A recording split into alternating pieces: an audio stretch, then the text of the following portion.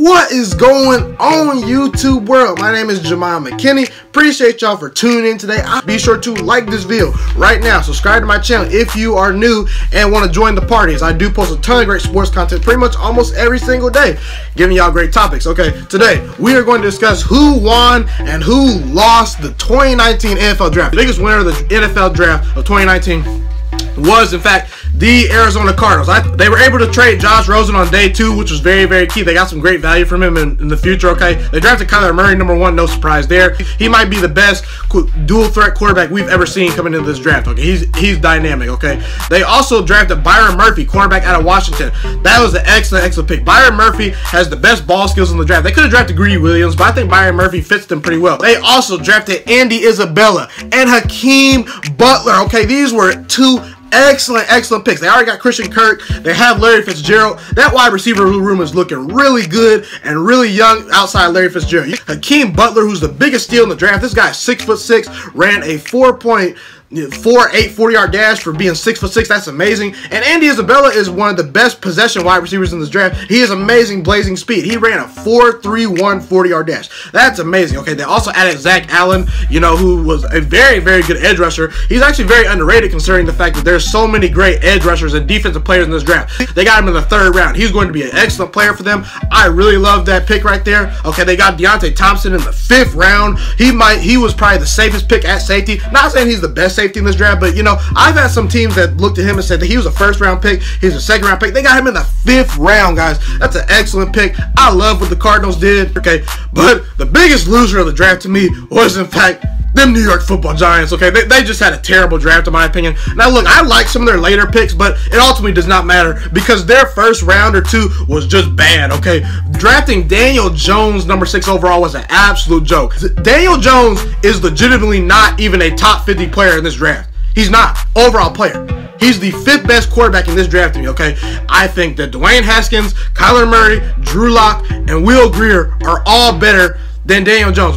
Basically, at best, the fourth best quarterback in this draft was drafted at number six overall. Notice how after the Redskins drafted Dwayne Haskins, no other quarterback got drafted in the first round. So what does that tell you? Daniel Jones would have been there in the second round for you. Do what the Denver Broncos did. Go trade up for him in the second round if you need to. Do not do not pass over Josh Allen. Dave Gettleman said he wanted to take the best player available in the draft at the time. You know, he wanted to take the best player available. The best player available is Josh Allen. They passed him. They also drafted Dexter Lawrence in the first round. I like Dexter Lawrence, but the clear-cut pick was Montez Sweat at Mississippi State, the best player on the best defense in college football. Okay, that was a terrible. It wasn't a terrible pick, but it was the wrong pick. And then they traded up in the first round to go get the third best cornerback at best, in my opinion, in DeAndre Baker. I mean, Byron Murphy and Greedy Williams to me are clear cut better than DeAndre Baker. They traded up to go get him. They also did not really address their offensive line at all. The Oshane Ximines pick was decent, but just overall not a great draft for the New York Giants. They did a terrible job maneuvering the draft. They did not get they overreached for players.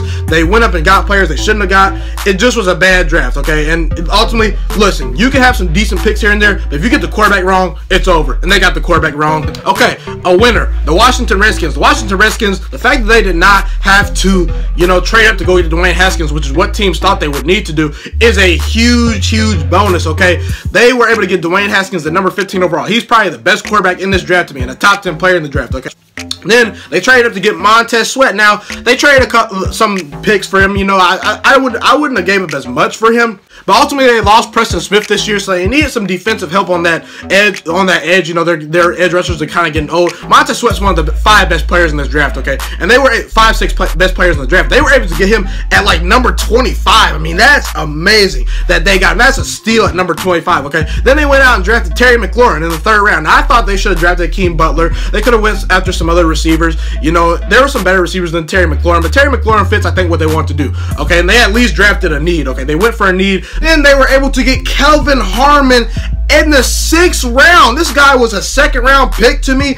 They need to address the wide receiver position. They did it with two great picks for where they got him. You know, that was great value. They also were able to draft Bryce Love, who, you know, he, he was projected to possibly be the best running back in this class. But, you know, he got hurt, you know, had a down year at Stanford the senior year. If he's healthy, he's one of the dy- most dynamic players in this draft, you know. And the Adrian Peterson's getting old. You compare him with um, Derrius Guice once he gets back healthy from the ACL injury. I love what the Redskins did. Bryce Love could be a steal. Kelvin Harmon is a steal. And Terry McLaurin, D- Dwayne Haskins, and Montez Sweat are excellent picks. Okay, a loser. The Tampa Bay Buccaneers. Listen, Devin White was an excellent pick. I love that pick. I had, I had Devin White mocked to the Tampa Bay Buccaneers. I think Devin White is the second best player behind um, Quinnen Williams in this draft. Nick Bosa's third for me. Okay, give you a gauge what I'm thinking. Okay, but that was a great pick. But other than that, they had a, they did not have a very good draft in my opinion. They did absolutely nothing to address their offensive line. I don't think they even drafted an offensive lineman. If they did, it was a sixth or seventh round pick. Okay, they did, did nothing to address the offensive line. Okay, and they picked they passed on Greedy Williams in the second round. They drafted Sean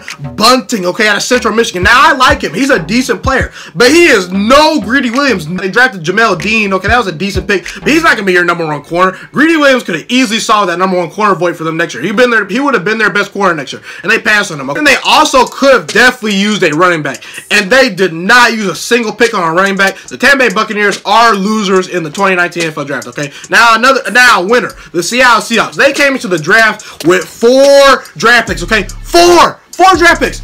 They ended up picking 11 players, okay? They did an amazing job trading down with teams, getting a ton of great picks. And listen, Pete Carroll and this coaching staff does not need a ton of top 10 picks, okay? They were, they've shown the ability to develop players like Bobby Wagner, the, the Russell Wilsons, the KJ Wrights. Doug Baldwin's undrafted. Richard Sherman was a fifth round pick back when he was with Seattle. Now, LJ Collier was a solid pick for where they got him, okay? And based on who was off the board, okay? So they filled the void from Frank Clark, who they just recently traded. I mean, he had a great senior year. He had 11 and a half tackles for loss and about six and a half sacks like this senior year, so he's really coming into his own. They got DK Metcalf with the last pick of the second round. That's an absolute steal. DK Metcalf has the most potential out of any wide receiver in this draft. And to me, I understand that he ran a slower three cone shell than Tom Brady, but you look at him, you know, he's a great jump ball wide receiver. You know, he he can get vertical. He's a, he's just a big play. His big play ability. Six foot four wide receivers that are 230 that that run a 4.314 yard dash do not grow on trees. And DK Metcalf to me is the best wide receiver in this draft. We also got Gary Jennings, I believe, in the fourth round. That's an excellent pick. He's a very underrated wide receiver. I think he's going to fit in very nice. You know, the wide, the wide receiver room for Seattle is looking really good with Doug Baldwin, with Doug Baldwin, Tyler Lockett, you know, DK Metcalf, and now Gary Jennings. That's, they also got Marcus Blair from Utah, who's a great pick. You know, I think he's a very aggressive safety. He's a second round pick to me. I think he fills the void that KJ, um, not KJ, I'm sorry, Kam Chancellor, you know, now that he's retired and gone, I think that fills a void. You can also play him at free safety. He's very good versatility. They also got Demarcus Christmas, a great defensive tackle out of Florida State in the sixth round. I think he's a very, very good player. He could potentially develop into a starter for them. So I really like, I really love that. Uh, I'm gonna shift to a lo another loser. Okay, the New Orleans Saints. The New Orleans Saints to me really had one issue. Saints have absolutely no wide receivers that can take a top off a defense, and this draft was full of those players, and they drafted none. The New Orleans Saints defenses was one of the top five defenses this year. Okay, and they they were they were not the problem. They were not the reason they did not win the Super Bowl. The reason was that Drew Brees and that offense faded at the end of the year. Okay, they did they were not a top ten offense at the end of the year. They were just not a great offense, and it was because they were getting more gimmicky. It was a dink and dunk offense. They don't have very many players that can take a top off the defense, and they don't have very many great speedy playmakers. And this draft was full of them. And they drafted Chauncey Gardner-Johnson, who I like, but they definitely should have took a wide receiver there. They did nothing to address their offense.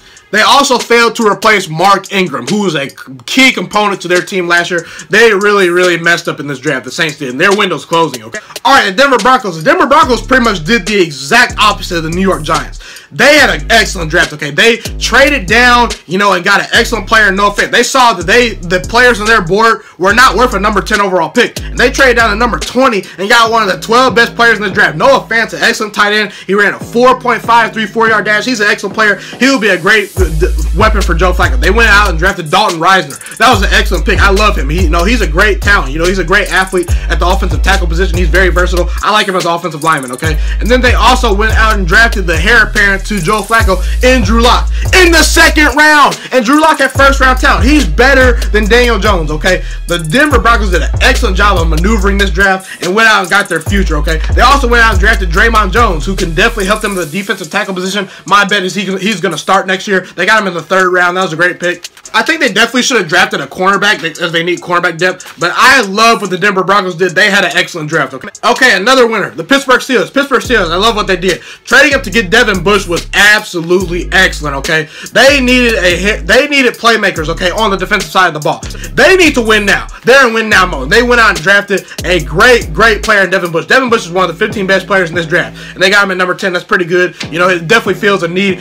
I love the Justin Layne pick too. Justin Layne's an excellent corner. You know, he, he's a sleeper. You know, he had 15 pass breakups in the final year at Michigan State. He definitely can come in and start for them. They need some defensive back help. They got it. They also went and drafted Benny Snell, who might have been one of the top three running backs in this draft. They got him in like the fourth or fifth round, okay?